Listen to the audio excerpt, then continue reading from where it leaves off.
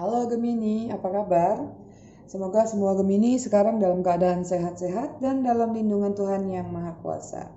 Gemini kita reading dengan tema adalah hal baik apa yang akan Gemini terima di 30 hari ke depan. Jadi sesekali kita keluar dulu dari love life. Biasanya selalu tentang love life ya kan. Oke, dan seperti biasa aku mau disclaimer ya bahwa readingan ini tuh bersifat fun reading, general reading. Jadi hasil bacaannya bisa saja resonate, bisa juga tidak resonate. Maaf. Bagi sebagian Gemini di luar sana. Oke, bisa juga vice versa atau terbolak-balik jika itu berkaitan dengan urusan asmara. Dan jika memang dirasa resonate, berarti memang bacanya cocok buat kamu. Tapi jika tidak resonate, berarti bacaannya tidak cocok buat kamu. Oke, aku langsung keluarin kartunya aja ya. Aduh. Bottom of the decknya ada rest and rejuvenation. Saatnya kalian untuk uh, relaksasi, healing, uh, meditasi, dan rejuvenation itu adalah peremajaan. Saatnya kalian mengglowingkan diri, yang cewek, yang cowok juga boleh. Dan juga bisa maskeran, apa pun itu yang berhubungan dengan mempercantik atau mempercakap diri. Oke, kita keluarin lagi kartu berikutnya biar bacanya nanti enak, nggak sibuk shuffle-shuffle ya. eh, jatuh. Uh, untuk Gemini juga aku mengucapin terima kasih yang sudah setia di channel aku. Dan buat kalian yang baru datang, selamat datang, selamat bergabung. Jangan lupa untuk subscribe, like, komen, dan nyalakan notifikasi loncengnya agar kalian selalu mendapatkan readingan terbaru tentang zodiak dari channel aku. Oke, okay? dan aku juga ngucapin terima kasih buat yang sudah personal reading uh, sama aku dan yang ingin personal reading kalian bisa hubungin kontak person aku atau nomor WA aku yang ada di bawah video ini di kolom deskripsi oke okay? dan di kartu kedua ada sama sama kartu pertama nah sinkron breathe memang kalian lagi dalam 30 hari ke depan saatnya lebih banyak healing. Kenapa? Akan menerima hal-hal baik ketika hati kita sudah tenang. Cara untuk tenang apa? Ya healing, meditasi, zikir, apa pun itu sesuai kepercayaan kita masing-masing tentunya ya. Jadi di sini memang ada gambaran uh, untuk mencapai sebuah hal baik di dalam hidup kita, kita butuh tenang. Jadi 30 hari ke depan akan banyak ketenangan yang kalian dapatkan. Uh, buat Gemini yang mungkin uh, apa ya jadi lupa yang mungkin ketinggalan readingan terutama mungkin yang baru bergabung mungkin ada readingan-readingan yang kelewat sama kalian kalian bisa cek di playlist aku ya di sana ada kolom Gemini kalian bisa lihat readingan apa yang kalian butuhkan oke okay? di kartu pertama ada storm warning ada peringatan tentang badai ada peringatan dalam artian gini uh, kalian harus tajam terhadap intuisi yang kalian miliki. Sehingga jika ada hal-hal yang sebenarnya mungkin ke depannya kurang baik tapi kalian sadar kalian peka sehingga itu kalian bisa atasi lebih dini lebih cepat. Sehingga hal-hal buruk yang harusnya tadi terjadi bisa jadi kalian elakkan itu. Bisa kalian uh, tolak ya ibaratnya uh, itu tidak terjadi karena kalian sudah tahu itu akan terjadi seperti itu. Terus di kartu kedua ada woman holding coin. Jadi banyak juga di antara Gemini yang akan berbunga-bunga hatinya yang hubungannya membaik, yang mengalami tingkatan atau level dalam dunia asmara e, merasakan suatu yang nyaman, suatu keindahan. Dan ada broken heart, tenang, jangan takut kalau lihat kartu broken heart di mana di sini tiga bulan eh tiga bulan sorry 30 hari ke depan di mana saat terpuruk sekalipun ketika kalian menghadapi situasi broken heart tapi kalian bisa mengatasi situasi itu dengan adanya healing dengan adanya menenangkan diri dengan adanya menstabilkan diri. Jadi kalian nggak terlalu kaget kalian nggak terlalu yang frustasi kalian yang tidak tidak terlalu kecewa banget. Karena apa Kebaikan yang akan kalian terima dari semesta adalah kalian bisa mengatasi situasi apa pun dalam kehidupan kalian saat kalian menerima hal terburuk sekalipun. Oke. Okay.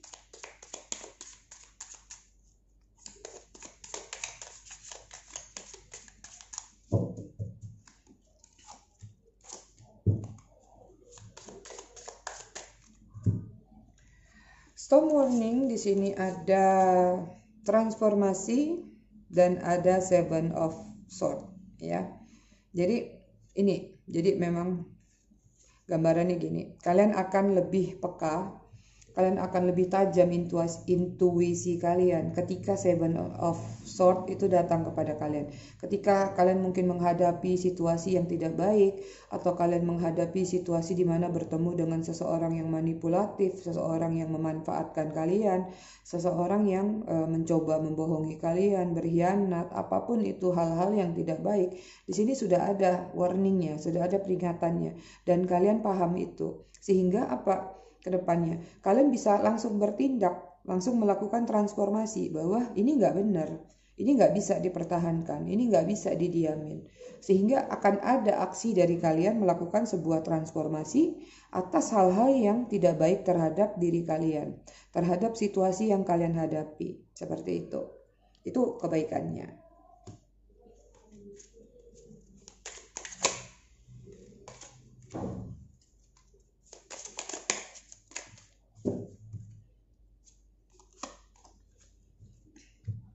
Untuk woman holding coin, di sini ada temptation.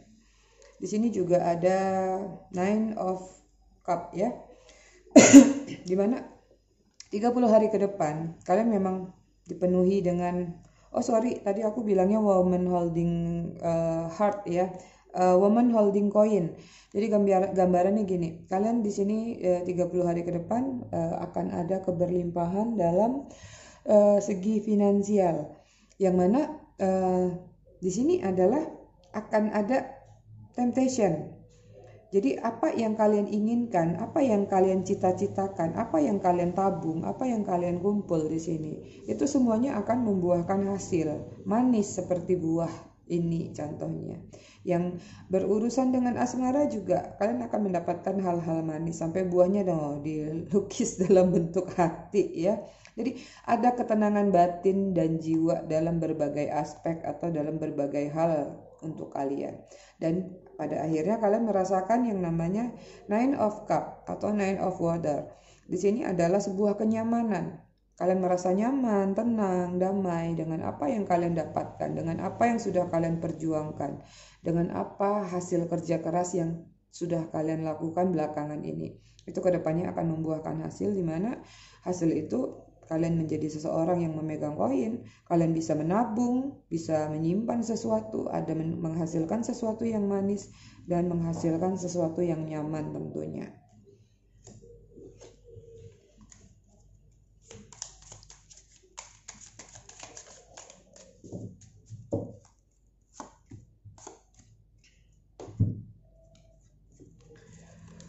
Oke, di sini ada Ten of Pentacle dan juga ada King of Pentacle. Ada dua kartu Pentacle. Jadi jangan bersedih jika ada sebagian dari Gemini yang mungkin patah hati ke depannya. Tapi yang terjadi adalah kalian di sini diajar atau di uh, dididik sama alam semesta atau sama Tuhan untuk bisa bangkit, untuk bisa tidak terobsesi akan sesuatu hal yang melekat pada diri kalian. Karena memang sesungguhnya apa pun yang ada di dunia ini tidak ada yang abadi. Hubungan sekalipun bisa bubar, bisa cerai, bisa terjadi hal-hal yang tidak sesuai dengan keinginan dan ekspektasi kita. Tapi setelah kita ditempa, setelah kita mendapat uh, pelajaran atas apa yang kita terima, yang terjadi adalah kamu akan mendapatkan kelimpahan kamu akan mendapatkan keberuntungan. Jadi Tuhan tidak akan memberikan suatu cobaan jika tidak di depannya diganti dengan suatu kelimpahan. Poinnya seperti itu ya. Dan kalian akan menjadi seperti King of Pentacle. Kalian memang sudah merasa akhirnya mapan, akhirnya nyaman, akhirnya lebih bijaksana, akhirnya lebih dewasa dalam menentukan suatu sikap ke depannya. Itu tujuannya dibuat kita untuk patah hati dulu supaya apa? Supaya kita memohon kepada Tuhan. Terkadang kita lupa kepada Tuhan kita. Kepada terkadang kita lupa kepada alam semesta. Kita hanya sibuk dengan seseorang yang kita sayang. Kita hanya terobsesi akan satu hal yang menurut kita adalah bisa memberikan semua kebahagiaan. Padahal itu salah. Ya, jadi di sini Tuhan menempa kita, tapi Dia ingin kita belajar dulu. Sehingga setelah kita mendapatkan pelajaran itu yang terjadi adalah Dia akan memberikan kelimpahan. Mungkin Dia belum gantikan itu dalam bentuk orang atau penggantinya, tapi Dia akan memberi itu dalam bentuk kelimpahan. Mungkin dalam bentuk uh, rezeki yang menjadi lancar, apa pun keinginan kita jadi terkabulkan seperti itu. Oke? Okay? Dan di kartu berikutnya di sini ada No place like home. Ini juga menggambarkan tentang rejuvenation ya. Jadi mungkin banyak dari beberapa Gemini yang nanti atau sekarang sudah merasakan memang lebih senang di rumah, apalagi gara-gara masih PSBB, apalagi katanya akan ada PSBB gelombang kedua ya. Sehingga rumah itu memang menjadi sesuatu yang nyaman buat kita. Kalau di rumah ngapain sih enaknya kalau nggak mempercantik diri atau e, merapi-rapi diri gitu? Atau mencari ilham mencari ide. Itu paling enak memang di rumah apalagi di kamar kita ya. Jadi juga ke depannya kalian akan mendapatkan kedamaian no place like home.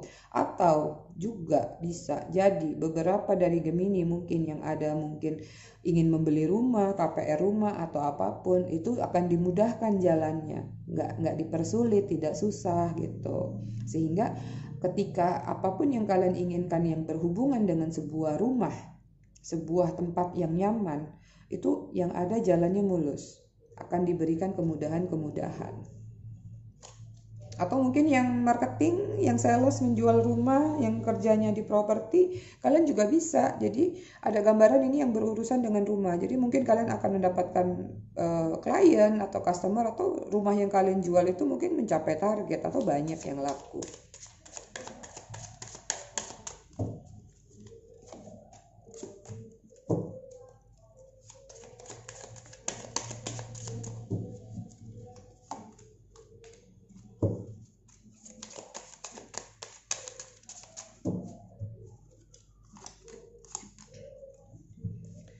Oke, tadi itu diklarifikasi dengan King of Air dan The Sun ya.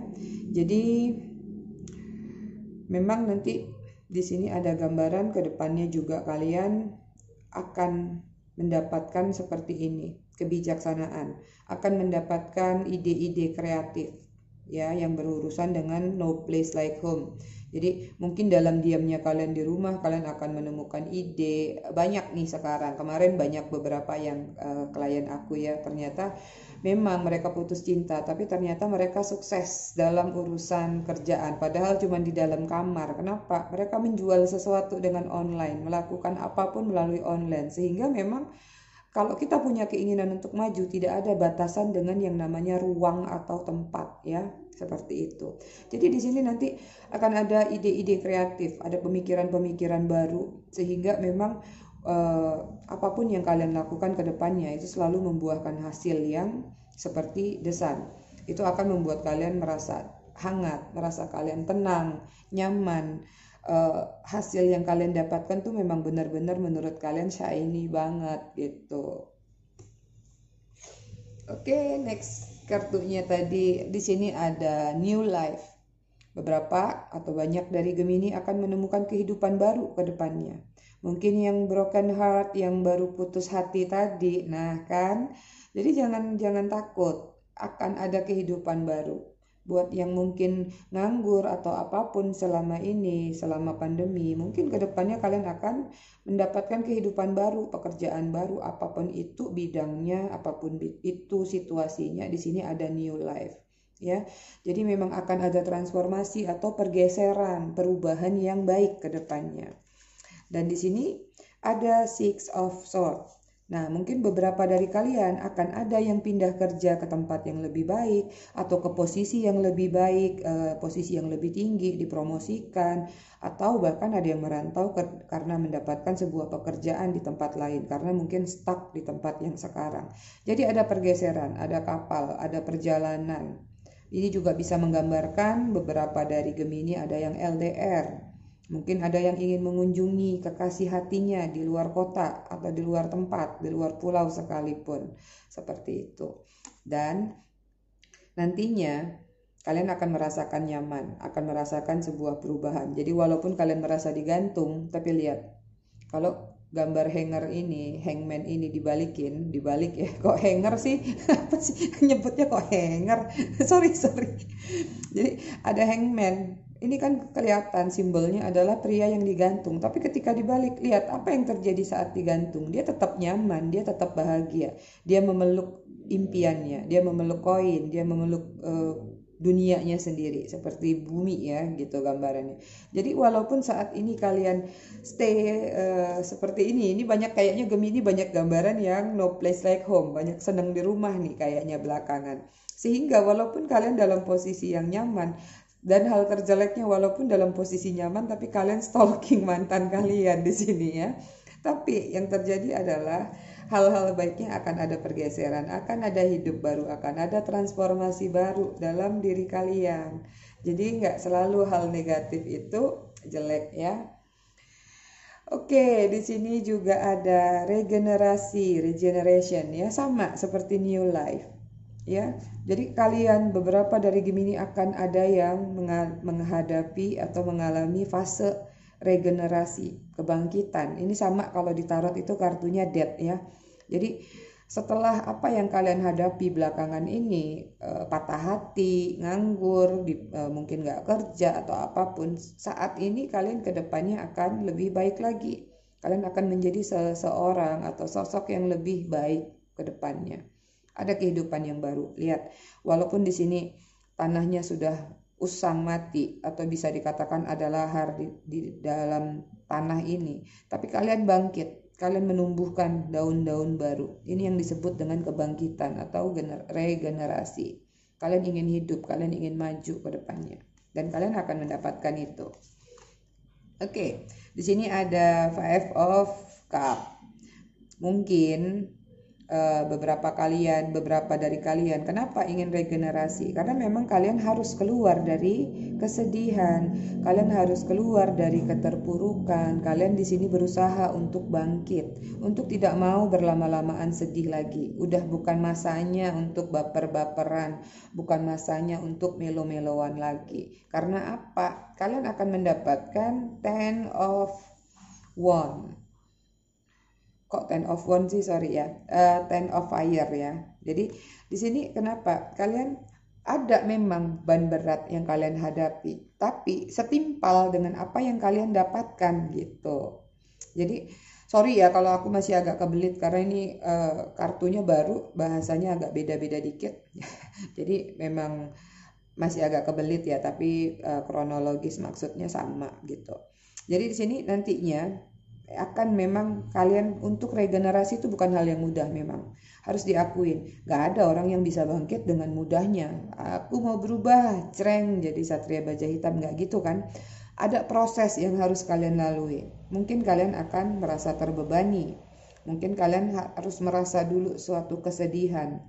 Tapi yang terjadi adalah kalian akan regenerasi. Kalian akan menjadi sosok yang baru. Kalian akan tumbuh menjadi pohon yang lebih baru lagi. Yang mana pohon ini sebelumnya sempat mati, tapi dia masih bisa bangkit. Dia masih bisa tumbuh. Dia masih bisa hidup bahkan lebih besar ke depannya. Oke? Okay? Yang difokuskan adalah untuk mencapai semua itu hanya dibutuhkan yang namanya healing dan tenang Balancing. Jadi kalian harus memang banyak mendekatkan diri kepada Tuhan, semesta, zikir, doa, apa pun itu kepercayaan kalian. Maka apa pun yang kalian perjuangkan itu nggak akan sia-sia. Ya. Dan the bottom of the decknya di sini ada Six of Cup. Ada kenangan yang terkadang membuat kalian bahagia kenangan masa lalu, apa pun itu. Jadi mungkin kalian ada yang flashback ke masa sekolah mungkin, ke masa anak-anak di mana di sana ketika kalian lagi sumuk nih pikirannya ya, lagi resah, lagi gelisah, coba ketika kalian mengingat kenangan-kenangan indah pada saat kalian bersama keluarga eh, sama sama masa lalu yang bagus-bagus terutama ya, di situ akan ada sebuah ketenangan. Ketika ketenangan kalian dapatkan dengan mengenang sesuatu, yang terjadi adalah tanpa sengaja kalian sudah melakukan yang namanya sebuah healing. Kita nggak sadar, terkadang kita hanya berpikir bahwa healing itu harus meditasi, harus yoga, kita baru bisa tenang. Enggak. Ketika kita memikirkan sesuatu yang tenang, yang damai, ketika kita bisa berimajin, ketika kita bisa menghayalkan sesuatu yang indah-indah, itu menghadirkan sesuatu yang tenang. Sehingga itu tanpa kita sadari kita sudah healing, kita sudah belajar healing secara alam bawah sadar, kita sudah uh, meditasi secara alam bawah sadar. Oke, kita lihat pesan dari semestanya ya. Untuk Gemini 30 hari ke depan pesannya apa? Kebalik. Wow cakep. Bottom of the decknya ada look at the bigger future.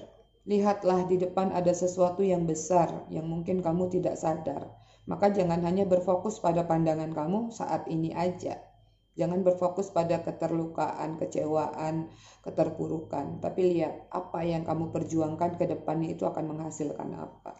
Karena di sini ada expect powerful change ya. Jadi akan ada perubahan powerful dalam diri kamu ada ekspektasi yang seperti itu. Jadi memang setelah kita mencoba, kita berjuang, kita melakukan hal yang terbaik apa pun, pasti akan ada perubahan yang terjadi di dalam kehidupan kita. Nggak mungkin orang berusaha tapi nggak menghasilkan apa-apa ya. Kalau ada orang bilang aku sudah berusaha tapi nggak dapat gini, nggak dapat gitu, mungkin dia tidak mengiringi dengan doa atau dia sudah dapat tapi dia bukan tipe orang yang puas jadi dia pingin yang instan. Kepingin ketika dia berusaha ya langsung jebret dapatnya gede gitu. Don't let pride get in your way. Ketika nanti kamu sukses, ingat jangan sampai itu membuat kamu sombong. Karena ini gambarannya ke 30 hari ke depan akan ada yang namanya luck is in your side.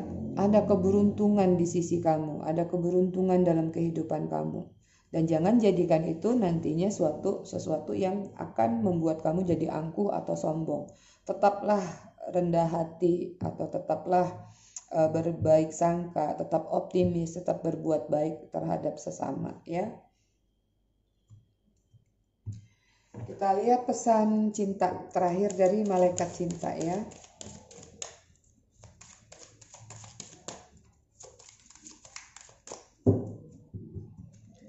Oke. Di sini ada let friend help you. Let your friend help you. Ask for and accept support from others. Jadi nggak ada salahnya ketika kita dihadapkan sebuah masalah, baik itu masalah apa pun ya, percintaan, eh, finansial setidaknya kalau memang itu berat kita pikul sendiri coba cerita ke teman kita. Siapa tahu dia bisa membantu walaupun cuma masukan. Bantuan tidak harus berupa material thing ya. Jadi terkadang kita butuh sharing membuat kita lega. Kalau perlu kita pinjam pundak teman kita pinjam pundak dong buat nyandar sebentar gitu. Ceritakan tapi ingat ceritanya selalu ya jangan ngember atau ceritanya kepada orang yang benar-benar bisa kamu percaya sehingga rahasia kamu memang benar-benar tersimpan dengan aman. Jangan cerita ke teman yang ngember, nanti aib kamu diceritain ke sana sini. Next, ada passion. Allow your heart and soul to sing with joy. Jadi, uh, ikuti, ikuti alur hati kamu.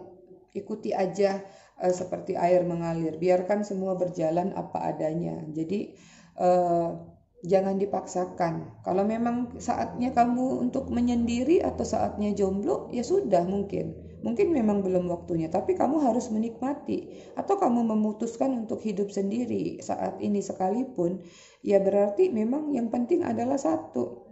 Hal itu adalah nyaman buat kamu. Ketika kamu merasa nyaman, mau kamu sendirian di dalam uh, ini nih, di dalam yang namanya no place like home, apa pun kamu bisa ciptakan, apa pun kamu bisa membuat kamu bahagia dalam kesendirian. Jadi kebahagiaan itu nggak harus selamanya berdua. Kebahagiaan itu nggak harus dengan seseorang yang disebut pasangan. Kebahagiaan itu bisa bersama keluarga, sama siapa pun, teman gitu, ya.